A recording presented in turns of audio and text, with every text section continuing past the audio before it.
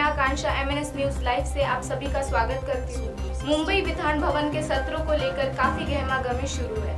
ऐसी स्थिति में विधान भवन के दोनों सदनों का कामकाज काफ़ी चुनौती भरा चल रहा है। आइए देखते हैं विधान भवन से हमारी खास पेशकश। महाराष्ट्र राज्य का यह मुंबई अधिवेशन शुरू है 2019 इस अधिवेशन में पिछले आज पांचवा दिन है और लगभग चार दिन बीत चुके हैं।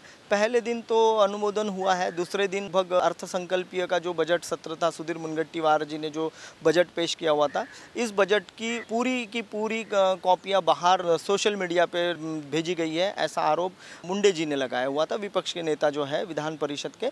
उसके बाद दो तीन, तीसरे दिन के सत्र में इस जगह की कैंटीन में लगभग चिकन के टुकड़े पाए गए हैं, ऐसा जब बताया गया तो चौथे दिन माननीय अजित दादा पवार साहब ने उसको सदन में पेश किया और उसके ऊपर माननीय मुख्यमंत्री देवेंद्र फडणवीस जी ने सदन को कहा कि जो कैंटीन की जो गुणवत्ता वगैरह है, इसको एफएसआई के दायरे में लेके आने का हम लोग ये करेंगे और उस पर कड़ी कार्रवाई की जाएगी। लगभग देखा जाए तो इस अधिवेशन के आज पाँच दिन बीत चुके हैं, लेकिन सदन की जो कार्रवाई है, जैसी चलनी चाहिए, वैसी नहीं चल रही है। स्कूलों की स्वास्थ्य की, साथ ही साथ बिजली, पानी, यह सारी व्यवस्थाओं पर भी चर्चा इस सदन में चल रही है और ये सारी चर्चाओं का कहीं ना कहीं महाराष्ट्र की जनता को लाभ होगा, ऐसा सरकार का कहना हुआ है। मैं एमएनएस न्यूज़ के लिए निशांत भाई, विधान भवन, मुंबई से।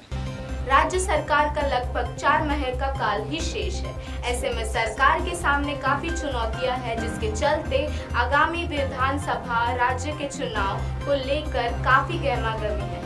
देखते हैं, विपक्ष सत्ता में आता है या फिर विपक्ष अगली सरकार में भी विपक्ष में ही होगा।